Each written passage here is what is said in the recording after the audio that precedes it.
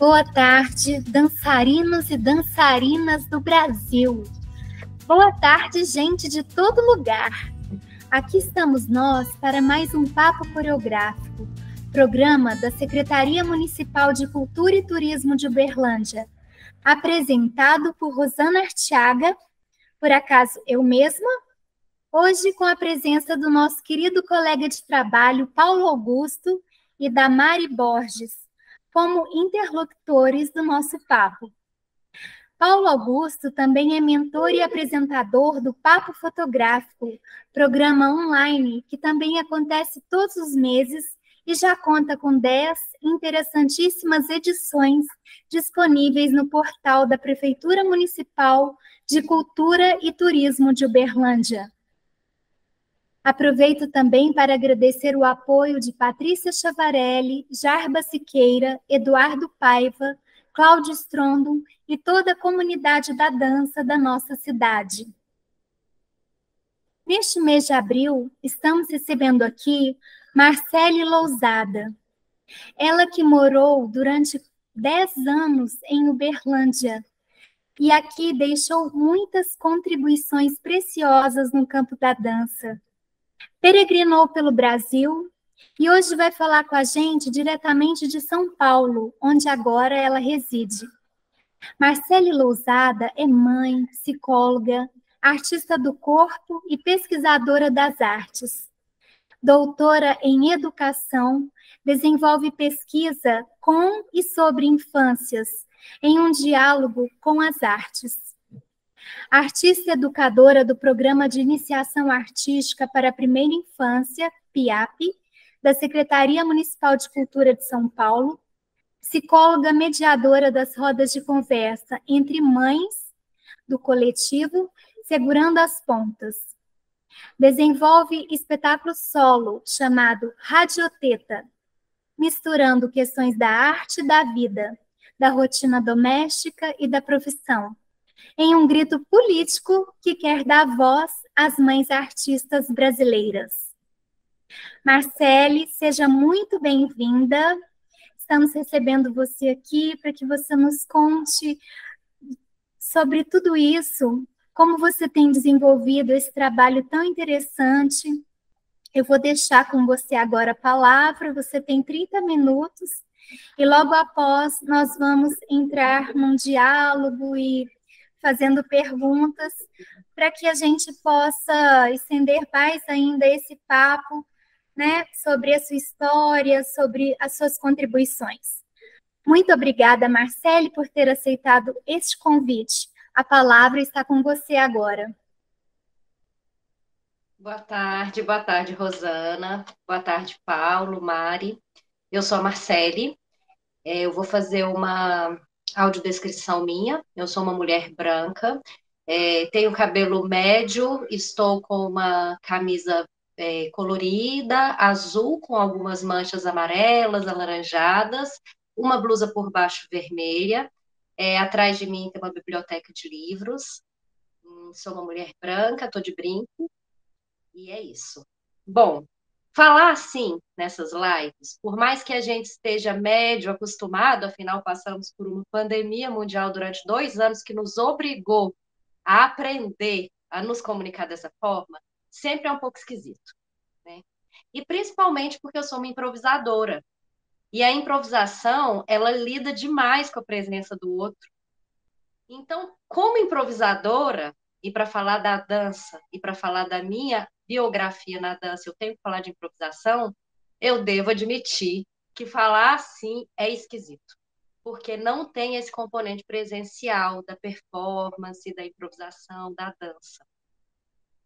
Hum, sou mineira, mesmo aqui de São Paulo, de uma cidade pequenininha chamada Formiga. E nasci na zona rural, morei em uma outra cidadezinha pequenininha durante muitos anos chamada Arcos, centro-oeste mineiro. E sempre gostei de ler. Sempre li demais Manuel de Barros, é, mas também li outros poetas aí, outros autores de outros países. E toda vez que eu lia, eu me identificava muito com a mocinha que ia para a cidade grande. E eu queria muito ir embora Eu queria muito fugir com o circo.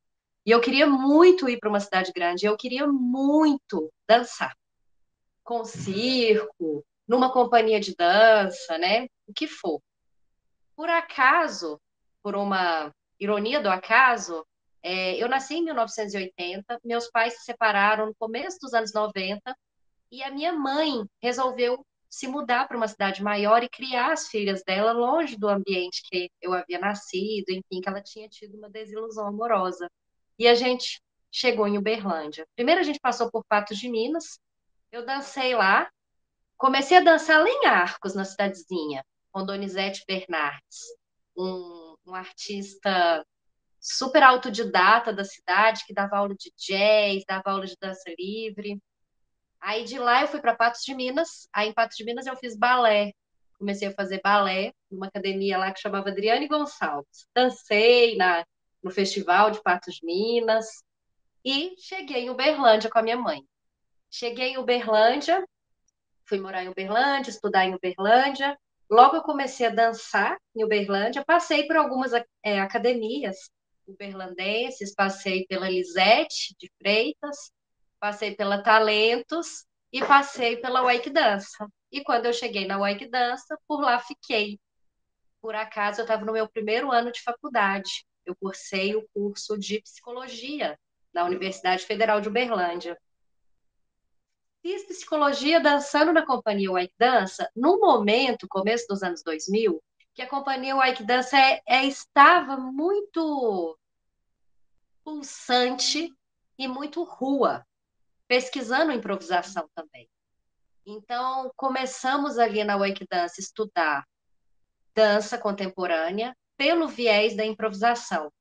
A Fernanda Bevilacqua, ela abria o, o palco de arte uma vez por mês nas sextas-feiras para uma jam session. E ela convidava músicos para tocarem, os bailarinos dançarem, enfim improvisarem ali. E ali foi meu espaço de criação. Ali eu me descobri mesmo como bailarina. Por quê? Anterior a isso, a minha passagem pelo balé sempre foi de muitos fracassos. Eu nunca consegui muito bem lidar com balé, nunca dancei muito bem e não conseguia muito me identificar com as outras danças. Quando eu cheguei na Wake Dança, por mais torta que pudesse parecer as, nas coreografias né, que a companhia criava, e foram várias. Eu dancei o ponto de vista, eu dancei o sorvete de creme com calda de doce de goiaba, fiz muita jam session lá. É, isso foi começo dos anos 2000. Eu não me lembro pontuar 2002, 2003, quando que era bem. Mas enfim, foi ali que eu descobri o meu lugar de criação, a minha potência enquanto bailarina na improvisação. É, fiz meu curso de psicologia, acreditando que seria possível uma psicologia do corpo através da dança. É, logo que me formei, me associei a alguns amigos, bailarinos, artistas, para criar um espaço em Uberlândia. A gente alugou uma casa no Fundinho e fundamos o Quinto Canto, espaço de criação. É, juntamente, eu, juntamente com a Juliana Bom Tempo, professora de dança da UFO, é, Felipe Lobo, que hoje mora em Belo Horizonte, músico. A Rosana Artiaga já passou por lá, já dançou com a gente. E o Quinto Canto, ele foi de 2005 até 2007. A gente acolheu muito proposta experimental de dança. Ali no Quinto Canto, eu pude montar o meu grupo de dança, que eu chamei de Caleidoscorpos. E ali a gente também experimentou as praças ao redor é, ali da, da, casa, que era o, o, quinto canto, que era no fundinho. Então a gente dançou nas praças ao redor ali, experimentamos a improvisação, fizemos eventos dentro do quinto canto. Bom, é, passado esse tempo, a fome de continuar a informação permanente me, me, e a vontade de querer experimentar outras cidades. E eu falo cidade porque tem tudo a ver com a minha pesquisa desde então, nos últimos 23 anos, me levou à capital de Minas Gerais, Belo Horizonte, aonde eu fui fazer pós-graduação no Instituto Félix Guattari, em esquizoanálise, e fui dançar com a Dudu de Herman, na Companhia Bem-vinda. É, nessa época, do Dodi Herman estava com um trabalho que se chamava Como Criar uma Paisagem Sonora. Como Criar uma Paisagem Sonora. E, enfim, a gente começou a experimentar as praças da, de Belo Horizonte e eu comecei a vislumbrar uma possibilidade do mestrado. Em 2008, eu entrei no mestrado em artes visuais na UFMG e minha pesquisa está aqui. O título dela é Corpo, Paisagem, Dança em Experimentações Públicas Urbanas. É, ela trabalha com a autobiografia como uma proposta de criação, é, através é, de uma cartografia nas praças de Belo Horizonte.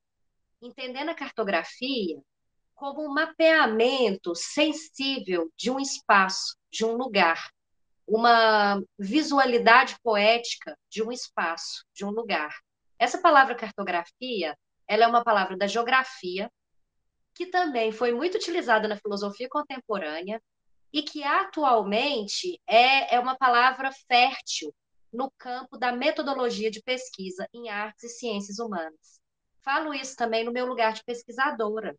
Da UFO, ali em Uberlândia, na psicologia, eu vim para Belo Horizonte, fiz a minha especialização em esquizoanálise no Instituto Félix Guattari, adentrei no mestrado em artes visuais na Universidade Federal de Minas Gerais, desenvolvendo uma pesquisa, desenvolvendo esse conceito de corpo-paisagem.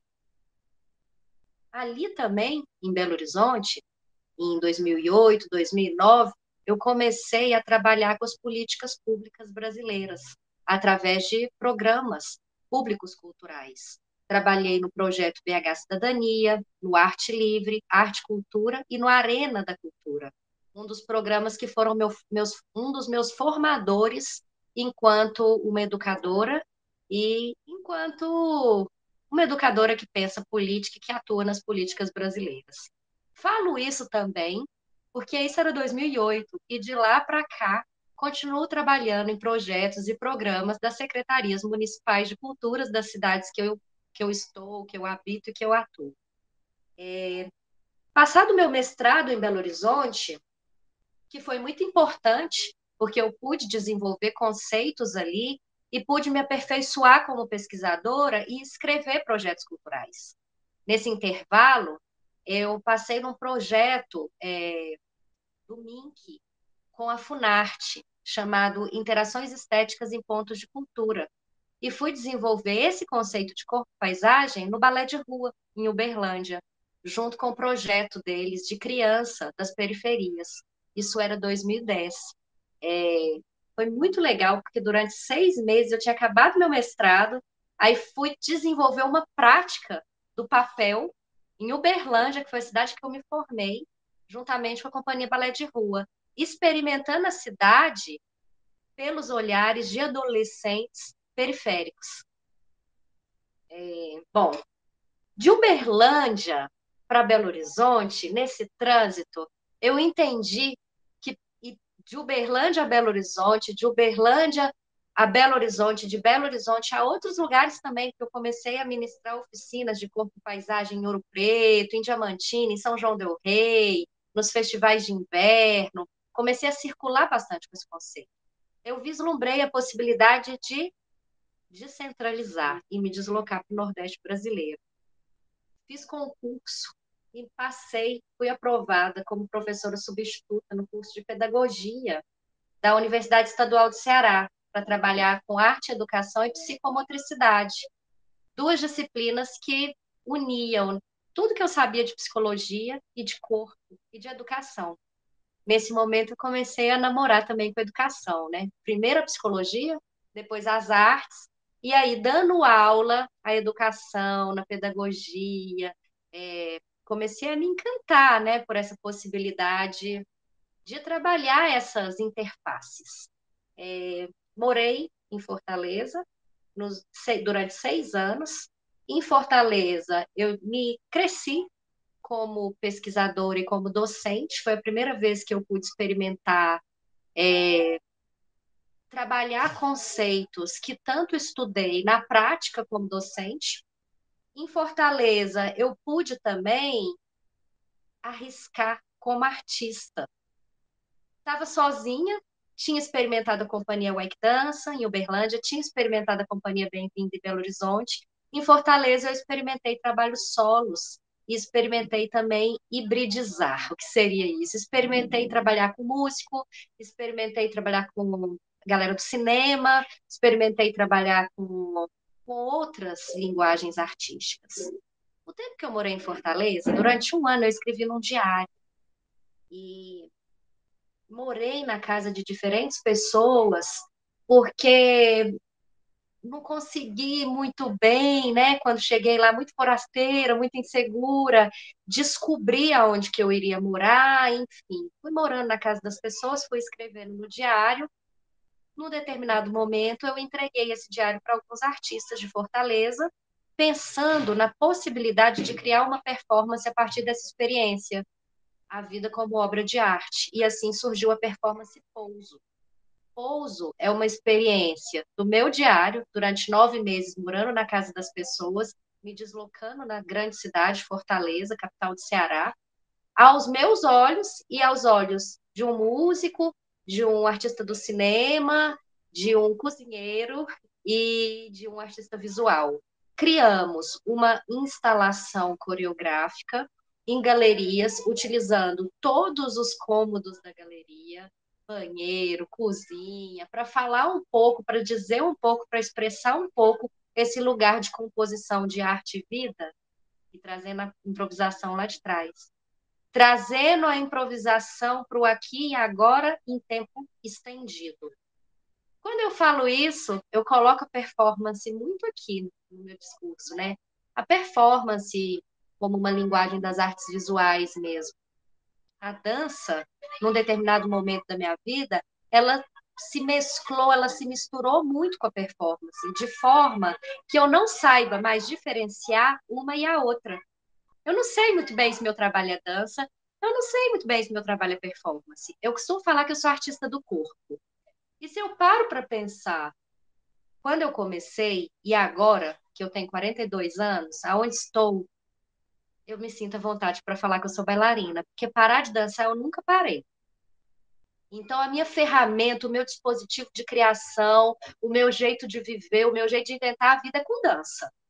Mas o jeito que eu coloco no palco é performance, porque trabalha conceitualmente nesse lugar de presentificação da vida, de tempo estendido, de galeria e não palco ou também de rua, misturado com o cotidiano, misturado com a vida pública. Gosto muito disso. Bom, passado o meu momento no Ceará, e no Ceará também eu trabalhei como parecerista em projetos culturais da Secretaria de Cultura do Ceará, e trabalhei como curadora também da Bienal de Dança do Ceará e de outros festivais do Ceará. Trabalhei no Porto Iracema das Artes, Fui artista premiada desse Porto Iracema, trabalhei com a Infor, que é uma companhia de teatro, experimenta também muita rua. Mas de lá, acabada a minha passagem na cidade, resolvi fazer meu doutorado e partir para Campinas, São Paulo. Vim direto para São Paulo porque o meu sonho lá de menina, quando queria fugir com o circo, era morar em São Paulo. Então, já vim direto para São Paulo, resolvi experimentar um aplicativo que chama BlaBlaCar, e durante três vezes por semana me deslocava para Campinas, fazia as disciplinas, voltava para São Paulo, experimentava São Paulo, devorava São Paulo, como uma antropófaga mesmo, contemporânea. É, a minha pesquisa de doutorado é na Faculdade de Educação. Ela continua com esse fio de ligação corpo, paisagem, mas ela é na, na, na escola com criança e também no movimento do Sem Teto do Centro de São Paulo, no MSTC, nas ocupações nos prédios do Centro de São Paulo. Então, durante quatro anos, de 2016 a 2020, eu caminhei com crianças e adolescentes pelo centro de São Paulo, buscando situações para uma corporeidade dançante. O que, é isso? Saía com as crianças na rua, buscando lugares que o corpo dançava, filmando, mapeando esses lugares, construindo uma cartografia. E por que cartografia? Uma representação visual em mapas. Esses mapas são vídeos que a gente consegue visualizar na plataforma do YouTube, é, na página Dramaturgias do Espaço. É, a minha pesquisa de doutorado ela vem com vários QR codes que você consegue acompanhar o centro de São Paulo a partir desses QR codes e dessas danças malucas que a gente foi criando com o bonecão do posto, numa esquina com o vento da saída de ar condicionado do metrô, é, com os manequins, com praças, né? A gente foi ligando o Teatro Público Municipal, a Praça da República, o Bexiga, com essas corporeidades dançantes. É, trabalhei numa ocupação e trabalhei numa escola e pude perceber a diferença entre estar no ensino formal e no ensino não formal, porque na educação eu entrava como pesquisadora, tinha um, uma, é, uma autorização assinada pelos pais e carimbada pelo Conselho de Ética, um termo livre e assentido, que eu podia ir e vir com as crianças. Chegava na portaria, chamava as crianças e ia experimentar a cidade. Na escola eu não podia sair.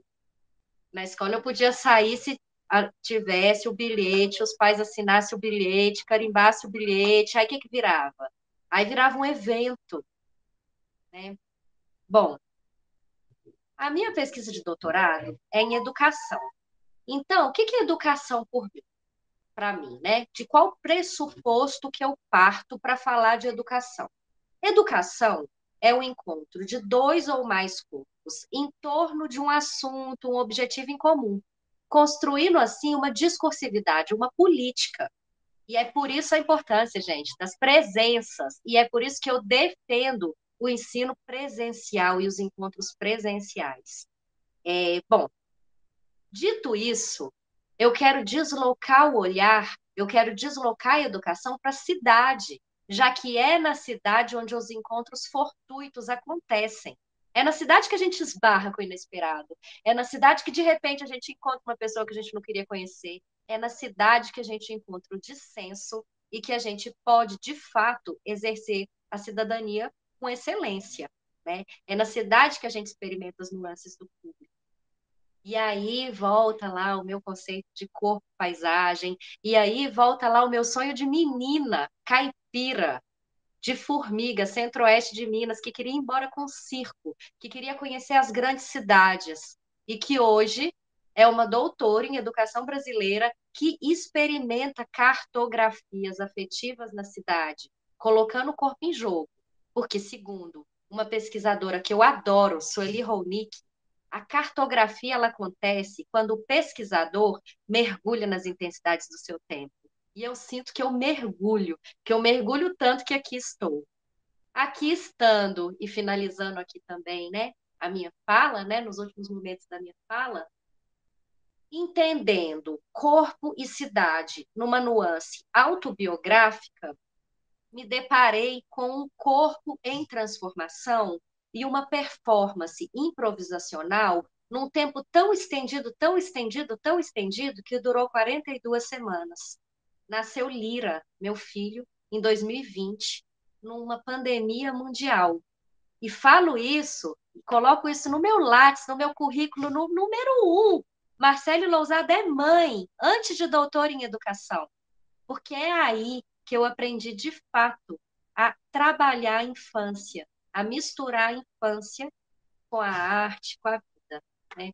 A partir daí, me interessei em trabalhar com a primeira e primeiríssima infância, procurei projetos culturais em São Paulo que acolhiam essa proposta e adentrei no universo da primeira infância através do programa PIAPI, um programa de primeira e primeiríssima infância da Secretaria Municipal de Cultura de São Paulo.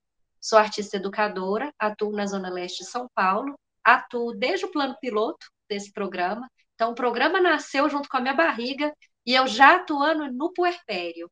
E a minha principal função nesse programa é cuidar de quem cuida, é conversar com as mães no puerpério, antes mesmo de receber essas crianças.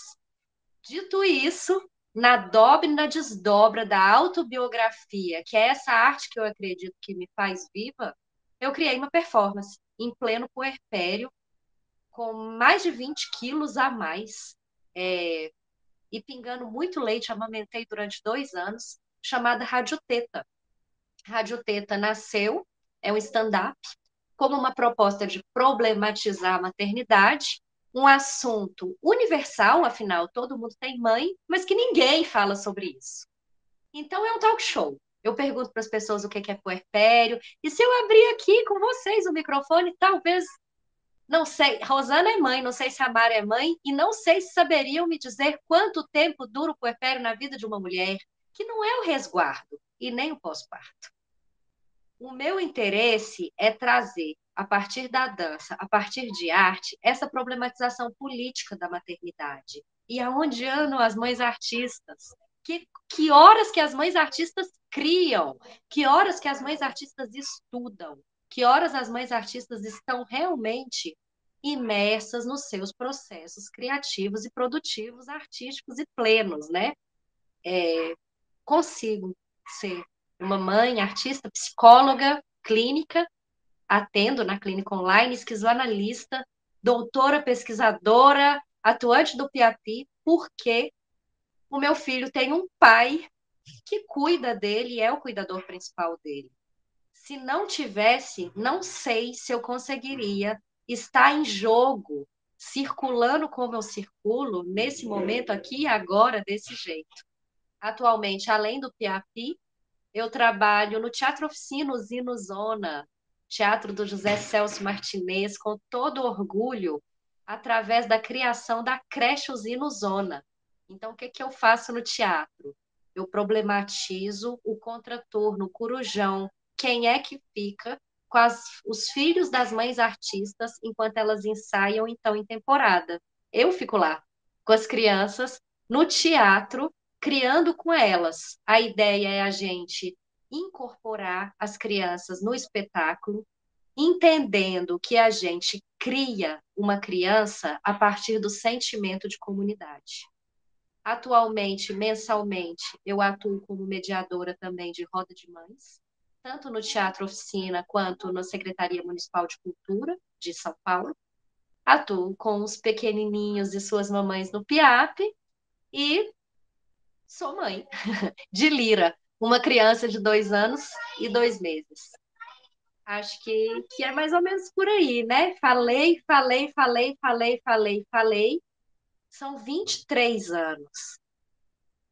De 2000 a 2023. São 23 anos que eu acredito que eu me considero uma profissional da dança. Antes disso, eu era estudante de dança. Depois disso, ali na Wake Dança, no começo dos anos 2000, eu acredito que eu me tornei uma profissional da dança. Gosto muito de falar da Wake Dança. E acho interessante colocar uma coisa da Wake Dança aqui, né? Afinal, estou numa live de Uberlândia, que os meus maiores amigos eu encontrei, conheci lá.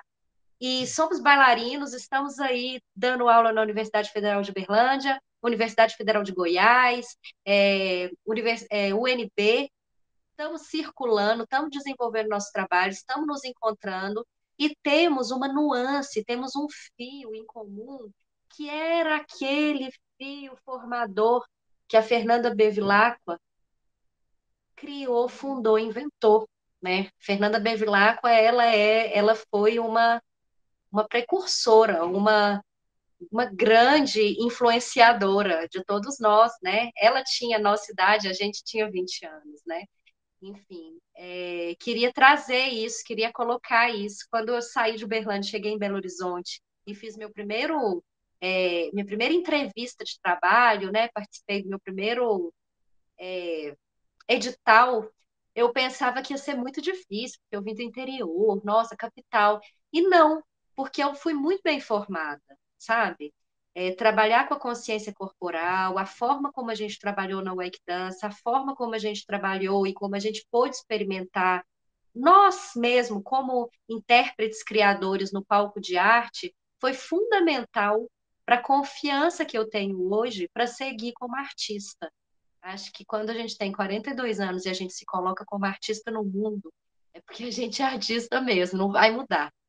E é isso, gente. Muito obrigada pela escuta e deixo aqui agora a palavra com vocês. Nossa, Marcele, quantas experiências ricas que você viveu, né? Quantas experiências você com as crianças, se, apro se apropriando, assim, dos espaços urbanos com elas. É, como você mesmo falou, é, apreciando essa escuta né, sonora das paisagens e trazendo essas possibilidades dançantes para o seu corpo, a partir da cidade, a partir de você como experimentadora. É, para você que viveu tantas experiências assim, qual foi, é, no seu ponto de vista, assim, a experiência mais intensa ou talvez a mais intrigante é, que você viveu? Qual seria, assim, de todas essas? Paris. Com certeza. Paris foi a experiência mais animalesca, mais avassaladora que eu tive na minha vida. Eu virei mãe com 40 anos, então também é interessante colocar isso, porque é uma fase da vida onde a gente tem muita percepção nossa do nosso corpo, das nossas convicções e propósitos. E mesmo virando mãe com 40 anos, isso abalou totalmente a minha estrutura. É, foi a performance mais duracional que eu fiz, tempo estendido. Foi a, a vez que eu mais me coloquei em risco. É, foi quando eu mais senti medo. Foi quando eu mais me aproximei mesmo dessa mistura, desse conceito da filosofia tão precioso a mim, que é corpo sem órgãos, e que Arthur coloca que quando estamos no ponto máximo do grau zero de intensidade, é aí que a gente faz a dobra do corpo sem órgãos, Acredito que eu virei essa dobra da arte e da vida quando eu pari o meu filho Lira.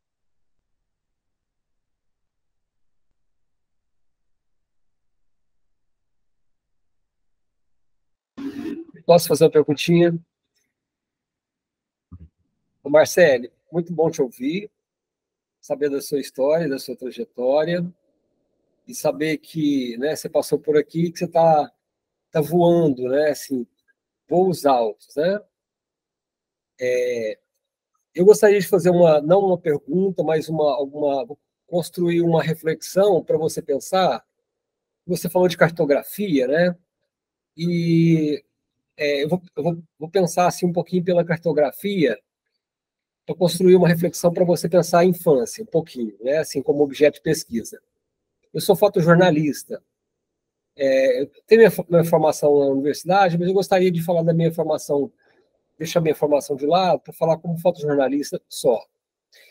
Ah, ao longo do meu, do meu, de meus vários anos de, de, como fotojornalista em Berlândia, eu fotografei muito as crianças.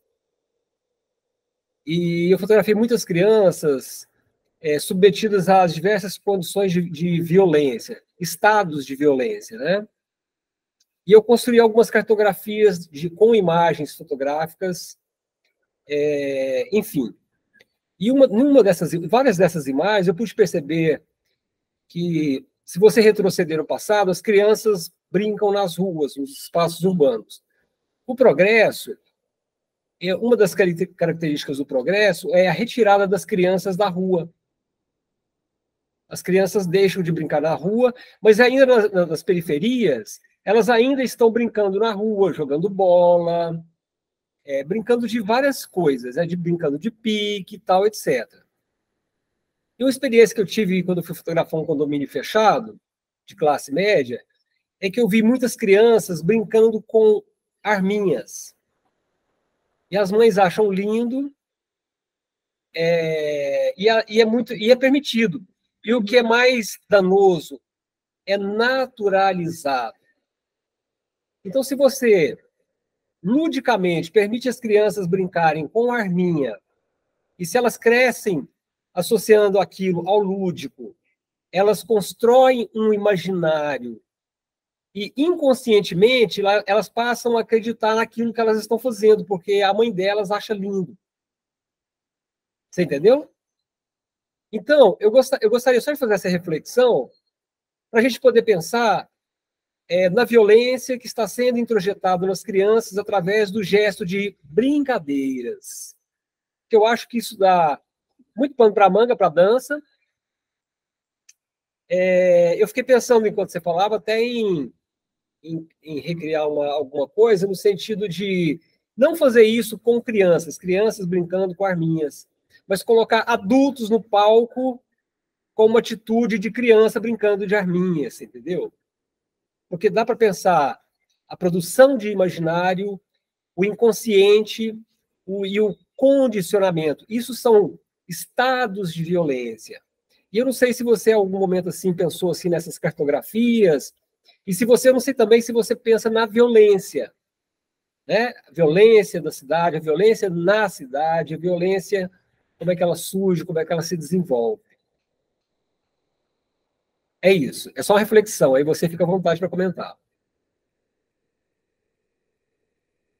Bom, virei aqui para trás para pegar um livro. Eu adoro estar na biblioteca, porque é ali que eu consigo, eu sou muito organizada, que eu consigo dar conta, né? É, um, uma das observações é que, antes de mais nada, participamos de uma hegemonia, de um sistema hegemônico que culpabiliza as mães, né? Então a gente deve fazer essa ressalva. Não é a questão das mães, é a questão da construção social a partir de um patriarcado, né? Se a gente coloca isso, se a gente toma de conta, se a gente coloca isso na conta das mães, mais uma vez as mães são culpadas de todas as dores do mundo, né? E não é uma questão de mães, é uma questão de educação de base, inclusive. É uma questão de consciência política, é uma questão de, de cidadania. Então, só, só uma ressalva. Peguei aqui o livro, né? Logo para mostrar, porque eu adoro, é o Outscapes. É do Francesco Carreri, esse livro. É o Caminhar como Prática Estética. Por que, que eu peguei esse livro? Porque esse livro ele faz uma proposta interessante sobre o estado de violência é, urbana a que estamos submetidos, né, principalmente nas grandes cidades. E a proposta do Francesco Carreri, a partir do, do projeto dele, né, como pesquisador, é ocupar cidades. Para ele, é só com a ocupação pública, é só com os nossos corpos caminhando na cidade é que, de fato, a gente entra num projeto político contra a violência urbana. Porque quando as cidades são ocupadas e não estão esvaziadas, nos sentimos mais seguros. E aí colo coloco também o meu corpo em jogo como pesquisadora que viveu três grandes cidades: Belo Horizonte, São Paulo e Fortaleza. Né? É, morar em Fortaleza, no Ceará, Nordeste brasileiro, me deixou num lugar de extrema vulnerabilidade, ao qual eu não tinha experimentado antes. Então, lá, a desertificação do espaço público, a desertificação do centro urbano, me fez, né, me colocou numa situação de que eu não conseguia ir até na esquina, pegar um táxi ou até na esquina, é, fazer nada, ir num caixa, num caixa eletrônico, uma, uma situação que o meu corpo não havia experimentado em Belo Horizonte e não experimenta em São Paulo. São Paulo é a capital que não para nunca, né? A cidade que não dorme. Eu morei no Bexiga, estudei os últimos quatro anos, de 2016 a 2019, na Unicamp, fiz doutorado lá, e pegava BlaBlaCar de um lado e de outro, atravessava a República até o Bexiga a pé, 11, meia-noite, uma hora da manhã, e me sentia forte, me sentia segura para fazer esse deslocamento. Por quê? Na esquina da República tinha um posto, na outra esquina tinha um estadão, atravessava o viaduto, tinha outro posto, e isso colocava pessoas em trânsito na cidade. Então, eu peguei isso aqui porque, mais uma vez, coloca para a gente a responsabilidade política de ocupar cidades. Então, só para construir essa colocação e também me colocando como mãe, né? Numa situação de que a gente faz educação em comunidade, né? Então, a mãe da Arminha, o pai, a tia, a avó, a escola, o desenho, ó, a criança que invade aqui de repente a live. Ó, aqui. Esta Esta é, minha, é o meu projeto político, é, a minha performance de maior durabilidade, e acredito que vai durar bastante. Lira. Como é que ela chama mesmo? Ele é um menino, ele chama menino. Lira. É. Oi, Lira. Lira, tudo bem? Pronto. Que lindeza, Fala, hein? Tchau. Tchau. tchau. Pode ficar aí, Lira. Bom, vai lá no papai. E interessante que Lira sabe que a mamãe trabalha, né?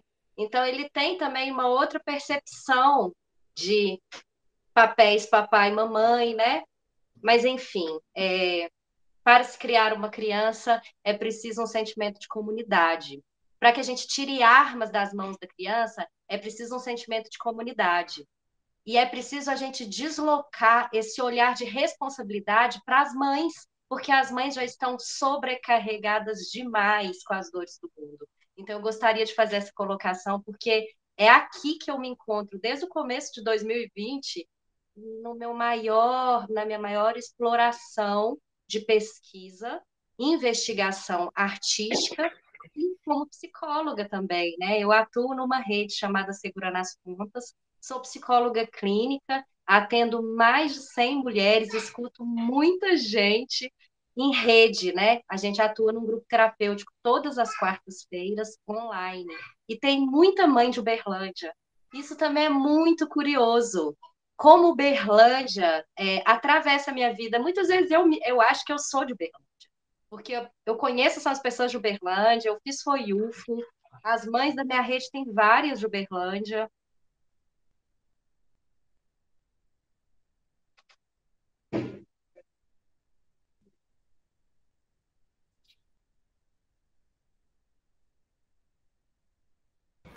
Eu não sei se a Mari quer fazer alguma pergunta. Você gostaria, Mari? É, essa questão né, de psicologia, de arte, de dança, né? Como que, que você é, faz essa, essa amarração na sua vida? É, se uma, só a arte não dava, só a dança não dava, como que foi essa amarração, assim? Porque eu acho que é importante as pessoas pensarem nisso também. Ah, adorei essa pergunta. Adoro perguntas práticas. Por que, que eu adorei essa pergunta? Quando eu tinha 17 anos, eu queria fazer faculdade de dança. Morava em Uberlândia. Não tinha faculdade de dança em Uberlândia, então eu queria fazer faculdade de artes. E assim, foi o maior briga na minha casa. Fui super pressionada a mudar de ideia e fazer outro tipo de faculdade, qualquer outra que não fosse arte. Fiz faculdade de psicologia. E eu adorava estudar psicologia. Eu gostei muito de estudar na UF, de fazer o curso na UF. Tive um professor muito especial na UFA, Rosana conhece ele, o Caio Procno, que foi uma pessoa que me introduziu no campo da filosofia contemporânea e da esquizoanálise. Ao longo da minha vida na UFO, eu pensei em desistir algumas vezes e transferir o curso para as artes. E o Caio sempre falava para mim: espera, termina esse curso e depois você faz uma outra graduação, depois você continua estudando. Me formei psicóloga, pela indicação e pelo incentivo do Caio Procno, fui para a escola, fui estudar esquizoanálise, fui para o Instituto Félix Guattari de Belo Horizonte, estudei psicologia lá, mas lá em Belo Horizonte eu adentrei nas políticas públicas culturais como professora de dança. Então eu trabalhei como professora de dança na Secretaria de Cultura de Belo Horizonte, dancei em companhia de dança e não atuei em psicologia. Nem ativei meu CRP. Eu não tive CRP. Eu me formei em 2004 então, até 2022, eu não tive CRP. Eu peguei o diploma de psicologia, fechei, coloquei dentro do bolso. Mas o conteúdo da psicologia estava aqui, em constante atualização. Em estudo, fiz concurso, pesquisa, dei aula. Dei aula na Católica, dei aula na PUC Minas de Belo Horizonte, na UES eu dei aula de ética e psicologia no curso de psicologia. Mas, enfim, é, trabalhei com projetos públicos culturais, foi dos meus 18 anos até os meus 30 anos, tive a possibilidade de atuar como artista brasileira através de grandes projetos, como o MINC, como a Lei Rouanet, Então, trabalhei, atuei, fui, inclusive, dirigir uma companhia de dança chamada Terceira Dança, em Belo Horizonte com idosos. Dançamos em Uberlândia, essa companhia maravilhosa, e fomos premiados com vários prêmios. Foi até pela secretaria, se eu não me engano, de cultura da Uberlândia que fui contratada. Bom, é, no começo de 2020, eu estava na minha melhor fase é, em São Paulo. Me mudei para São Paulo em 2016, no começo de 2020. Eu estava circulando em SESC, com oficinas, trabalhando muito com terceira idade, é, com trabalhos. Eu tenho uma banda experimental também, uma, uma banda performática, chamada Banda Fisiológica, trabalhando em vários espaços com ela, e a pandemia mundial fechou tudo. E a pandemia fez com que os espaços culturais fechassem suas portas e os contratos caíssem e eu estava grávida. E eu comecei a clicar no, no Instagram, no Google, é, hashtags, pesquisando maternidade, pesquisando arte, conheci outras mulheres e percebi que poderia ser interessante eu reativar meu CRP, porque eu percebi mulheres grávidas, mulheres no puerpério, mães no pós-parto, em extrema vulnerabilidade. E aí eu reativei meu CRP e criei uma rede, um coletivo chamado Segurando as Mães, com uma médica, Daniela Arruda, de Uberaba, e uma psicopedagoga americana chamada Bea Argolo, que mora em Itanhaém. Então, juntas construímos o coletivo Segurando as Pontas, oferecemos apoio psicológico, médico e psicopedagógico para mães. E, enfim, foi uma reinvenção. Então, lá atrás, aquele conselho daquele professor que me fez continuar fazendo a faculdade de psicologia foi fundamental para eu estar me sentindo segura dentro da minha profissão agora. Comecei a atuar como psicóloga, eu já tinha 40 anos, já tinha uma bagagem teórica, então já comecei com um certo know-how, digamos assim, né, já com uma certa segurança clínica para fazer a clínica atuar. Tive bastante apoio de duas psicólogas uberlandenses, Mariana Pelizer, foi minha supervisora clínica, doutora Mariana Pelizer, e Juliana Bontem, que é professora da UFO, bailarina, minha grande amiga também caminhou do meu lado me incentivou muito no começo da minha retomada. E atualmente eu atendo 23 mães a partir dessa rede Segurando as Contas. E tenho cinco estagiárias, atuo como supervisora clínica pela rede, mas foi uma, uma re, redescoberta, porque do começo dos anos 2000 até aqui, eu trabalhei como artista, artista educadora, pesquisadora, nem imaginava que eu fosse trabalhar com psicologia nesse momento da minha vida.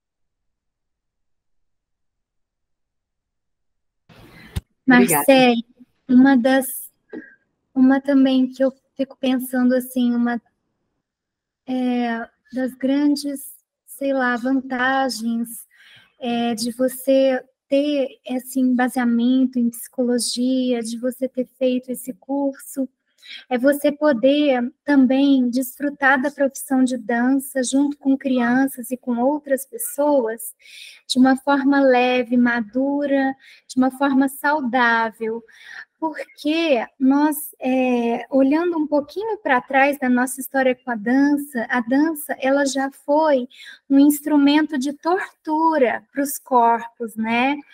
É, muitos dos nossos professores mais antigos, assim, não estou falando de agora não, mas muito mais antigamente, a dança era muito vista assim como é, um instrumento assim de sofrimento, de sacrifício, algo espinhoso que a pessoa tinha que superar para brilhar e tal.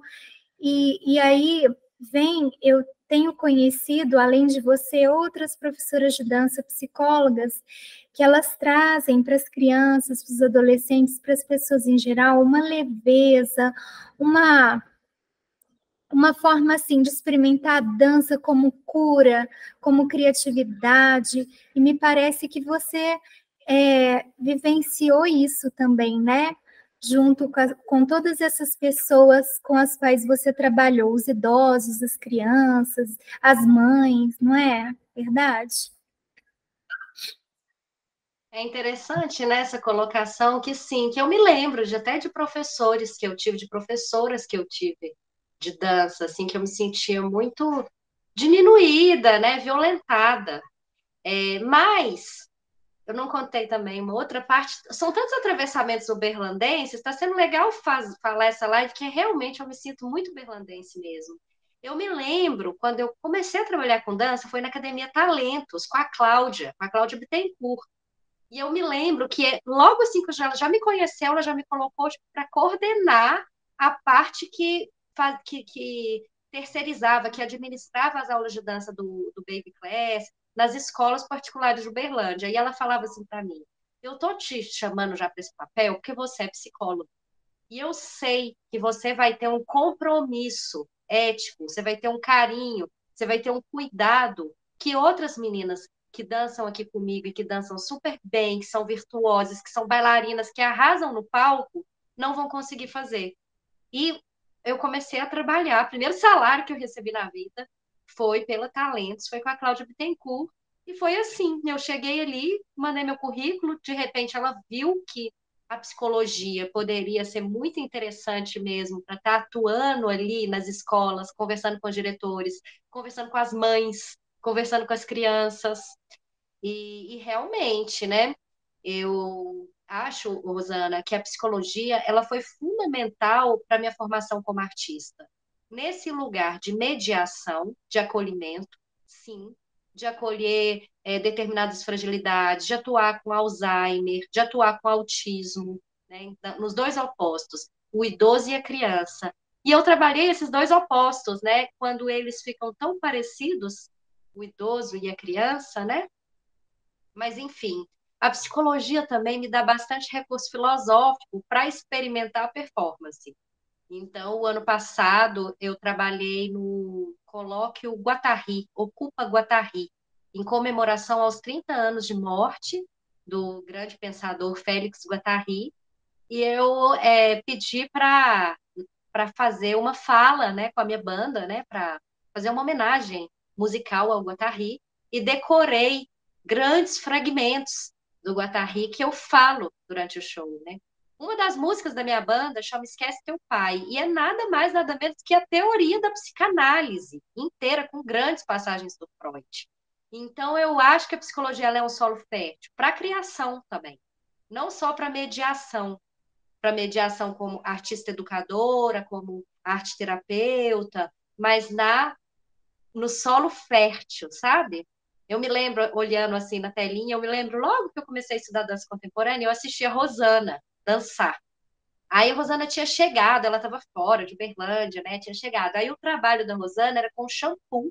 Aí ela chegava, ela passava o shampoo, esfregava a cabeça, aí ela pegava a cabeça cheia de shampoo e puxava o cabelo e saía puxando o cabelo, né? E isso já tinha tanta leitura psicanalítica, tanta leitura do campo de psicologia, e eu ficava pensando, nossa, é isso. Eu quero fazer dança conceitual.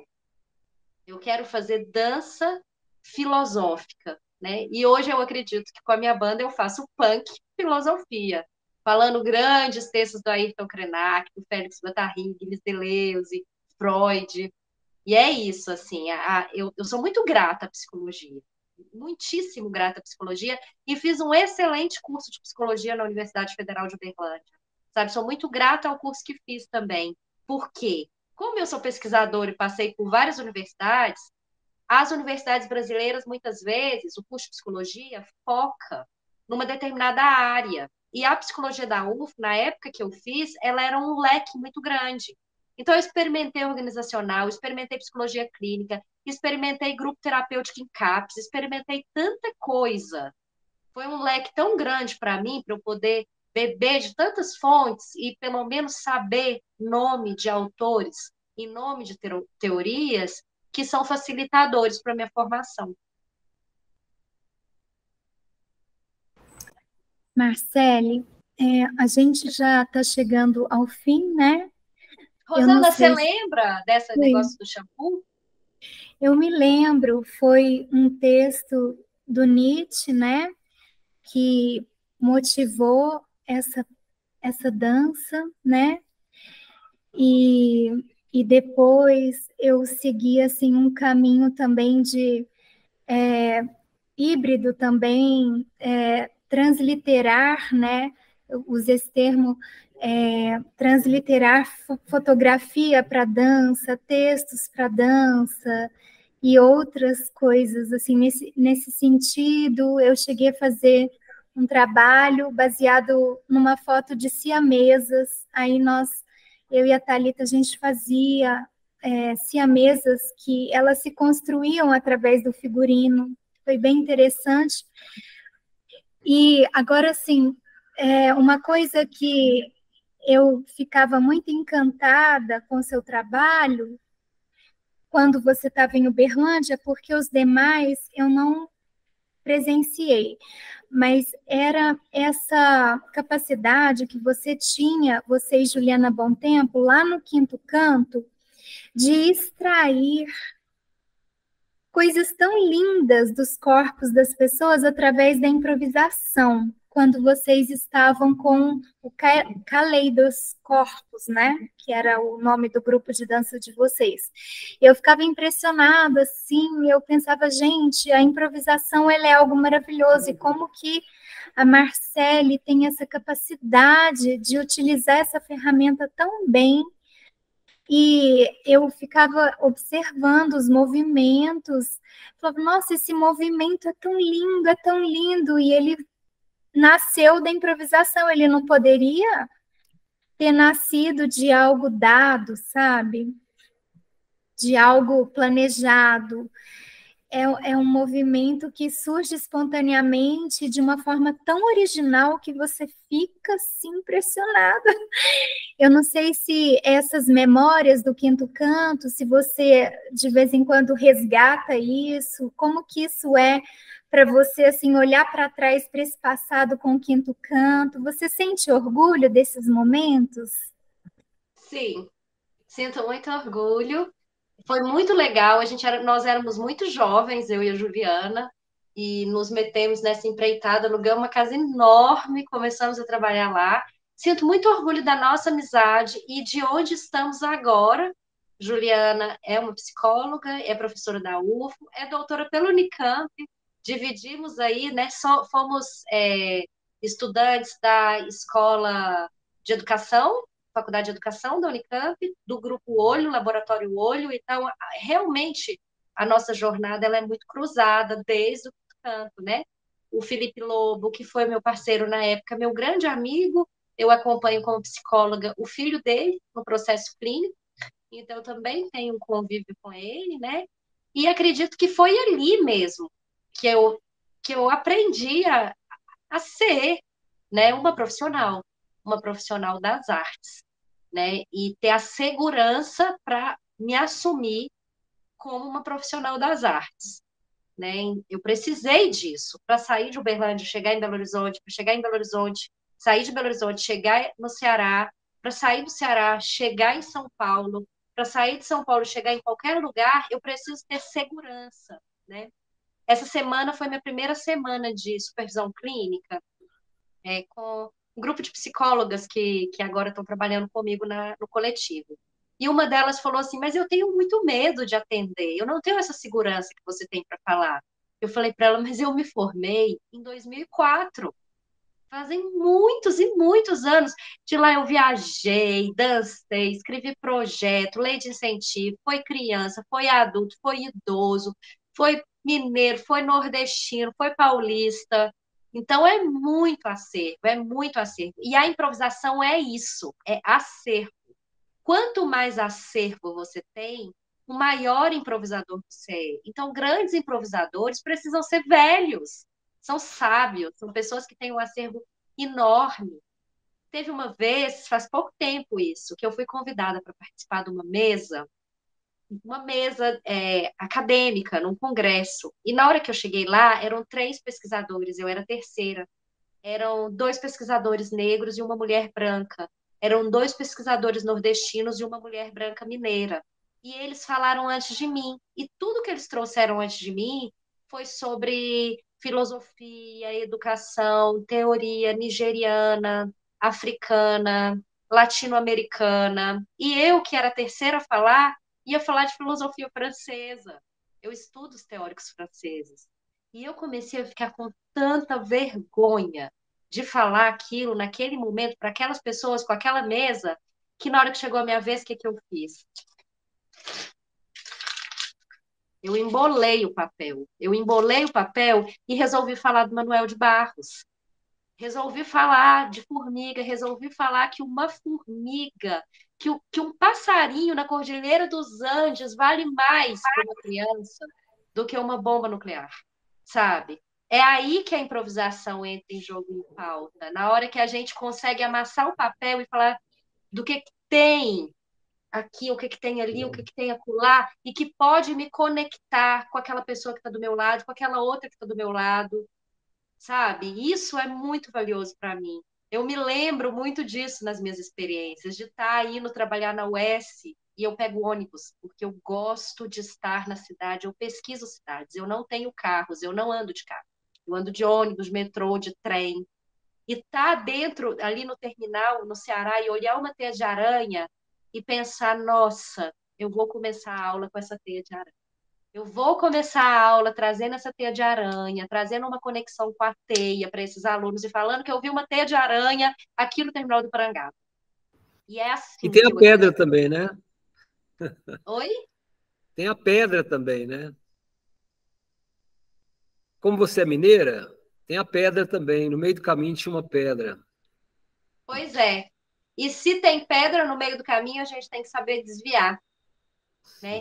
E, e para a gente saber desviar, a gente tem que ter ferramentas, porque senão a gente tropeça e cai.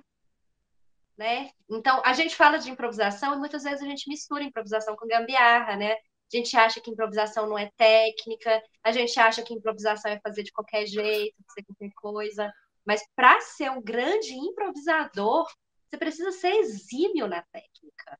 Né? Isso que a Rosana falou de mim quando me vem improvisar, eu acho interessante que tem a ver com ter feito balé também.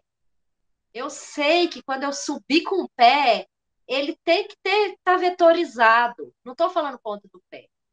Tem que ter desenho, tem que ter forma, tem que ter textura, tem que ter vetor. Isso eu aprendi lá atrás, no balé, lá na Lisete de Freitas lá atrás no balé, sabe? E então é isso, né? O Marcel Duchamp, para ele colocar um mictório no Louvre, nossa, mas ele foi exímio em tanta coisa, ele construiu tanto pensamento para chegar ali. E a partir daí deu tanta discussão, né? muito bom. Eu entendo muito o que você fala. Eu sou artista plástica, depois que eu fui para. Estou agora nas danças, dança de salão. Então, eu entendo muito isso quando você fala dessa questão do acolhimento das pessoas. Eu acho que esse momento está muito sensível, as pessoas todas estão precisando muito. E acho muito bom essa questão da, de ter esse, essa formação. Eu fiz arte, é, arte terapia, não fiz psicologia, mas fiz arte terapia. E a pergunta que eu te fiz é justamente para isso, porque eu sinto, né, que nem foi para mim, que tudo está interligado e é só com, a, com todas essas formações que a gente consegue chegar no todo e na pessoa como um todo mesmo. Acho fantástico isso, te entendo muito bem. Parabéns pelo seu trabalho. Parabéns, Marcele, obrigada pela sua presença. Como foi especial esse papo coreográfico. Agradeço demais você ter aceitado o nosso convite. Agradeço ao apoio da nossa secretária de Cultura, Mônica Debs, e também do nosso diretor, Alexandre França. Agradeço a presença do Paulo e da Mari, que hoje estão especialmente aqui te acolhendo, né? Te entrevistando e conversando.